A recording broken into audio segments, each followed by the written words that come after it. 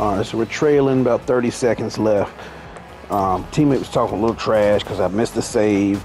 Although I thought he was back. He was like, "What was that?" But anyway, I missed. Well, I got shot, got blocked. I'm about to get the steal here and watch me get this man's ankles. I steal it. I hear him coming up on the side.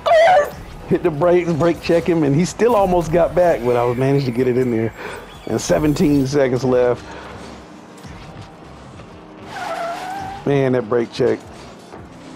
If if you can get him, the brake check helps. Now he did a good job trying to get back. I'll give him credit because he almost got back and got that.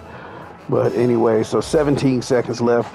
I'm sitting here wilding out because teammate didn't go on the kickoff. I don't know what he was doing. And they almost end up scoring there. Luckily, teammate got it out. Under 10 seconds.